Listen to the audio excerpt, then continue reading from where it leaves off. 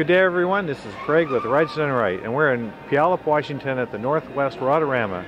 And this is Bruce Wanta, and owner of, nice to meet you. Nice to meet you. And uh, you have a 36 Packard. It's called the Mulholland Speedster. That's correct. It's won everything in the world I can think of.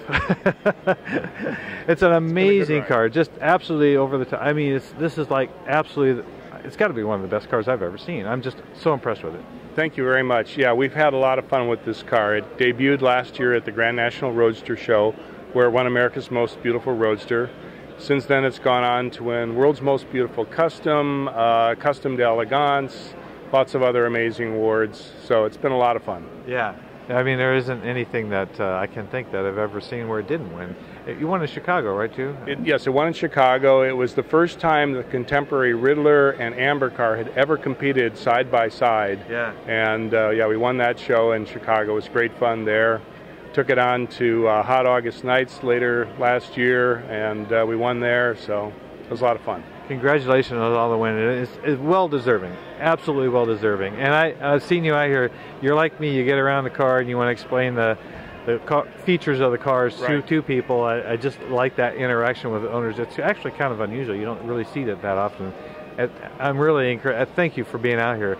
Happy to be here. And so, when you go through the car, so uh, let's let's it's this is a coach built car, right? I mean, it's I noticed you started with a Packard, right? But how much of the Packard is there, and how much of it is actually coach? I mean, tell me, how did that sure. go? So the car was uh, designed first in our head.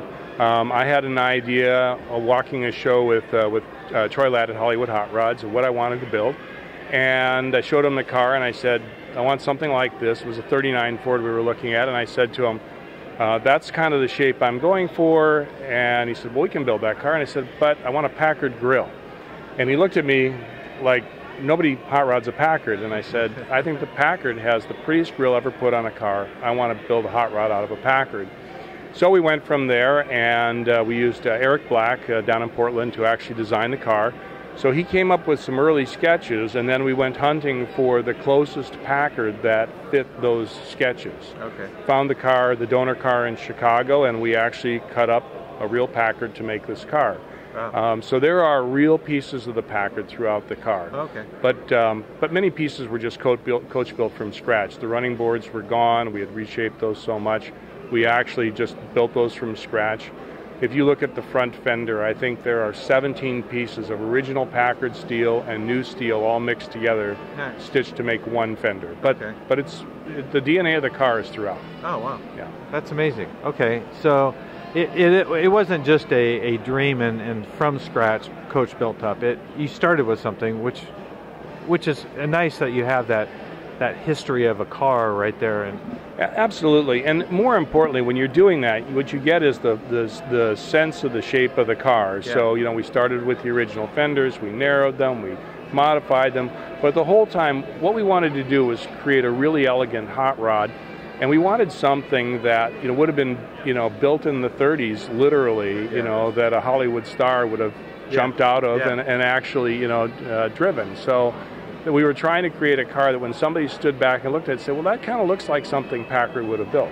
Clearly they didn't, but, but they should they should have. Yes, they should have. well, well then then we just would have had to clean it up and and uh, and present it. So so you know that but but yes, it was all coach built that way. But then throughout the whole car, if you look at the door hinges, they're off the original Packard. The handles, the cowl, the the um, interior of the car. There's pieces throughout. So, so it truly is a hot rod because you've taken a car and you've done like so many hot rodders and, and you've modified it. You've extensively modified, but you've modified it, right? So absolutely. So the suspension is different, the engine is different.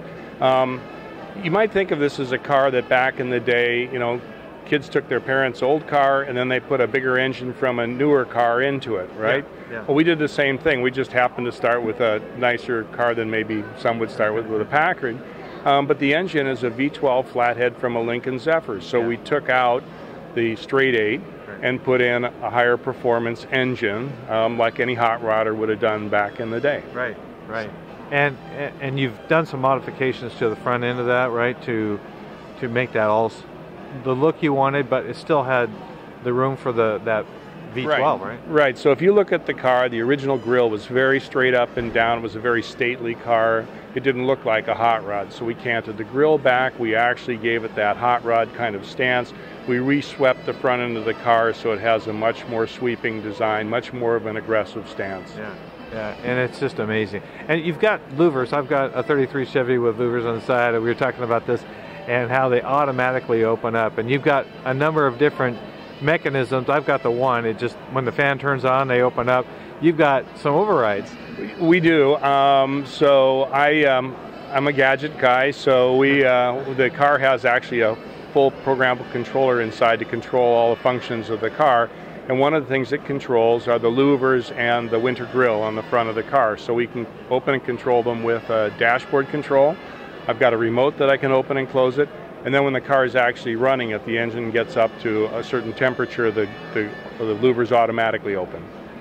But the ultimate gadget, uh, you know, of talking about everything is that top. Amazing uh, uh, engineering work there and, and design, and, and that just barely clears when it comes up. You've got the notch in the in the top of that just so it comes through. It's that, that had to be some work. It, it was a lot of work. So when when Troy and I first started looking at this car that I, I showed him that I wanted to build, it was a hardtop. And I said to Troy, I want to compete for AMBR. And he says, Well, if you're going to be America's most beautiful roadster, a roadster doesn't have a hardtop. So that's fine. We're going to make it removable. I really had a different idea in mind, but I didn't want to scare him off at the beginning of the build. So um, as we got further into it, I said, I actually want the top to disappear. And I showed him what I wanted to do, and he said, Well, that's really not going to work. I said, I think we can make this work. So we, uh, we prototyped it up, we got it to work, and so the entire rear clamshell, the back deck lid of the car, flips open.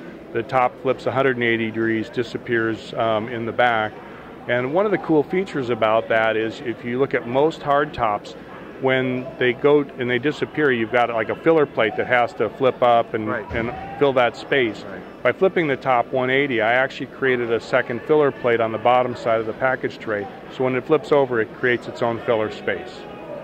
That is so cool, that mechanism. We'll, we'll show video of that when, it, when it's uh, in, in motion. So just an amazing car. The underside is every bit as nice as the top side. And, and that's very important. That, otherwise, you're just not going to be competing for AMBR. But you, you, you know, but so the and the way you displayed it at the in Pomona right. for the show with the, the split back kind of thing, that was really nice. Thanks. So that was um, the the actually the display was also an idea of mine. Um, I never feel like when I get to go to these shows that the nicest cars are, are visible for people to see, and I want people to see the cars. So yeah. we actually designed the display so that people could walk right next to the car, lean into the interior, look around the car.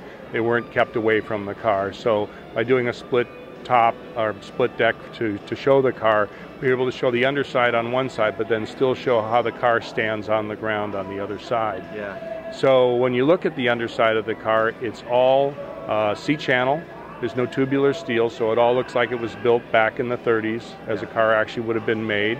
And the suspension's all a period correct quarter elliptical suspension. The car does raise and lower, but it's all done with hidden actuators that you can't see. It was another engineering idea that I had, and we were able to implement. All these, all these thoughts and details. It's uh, how many years did it take? Uh, this was about a six-year build. Um, you know, a little longer than I originally anticipated, but I think that's true with everybody's hot rod build. Mine was supposed to be one year, it turned into 13, so. you have me beat. well, and if I would have tried to do something like you did, it would have been 23 years, I think. okay. so you did pretty good. Okay.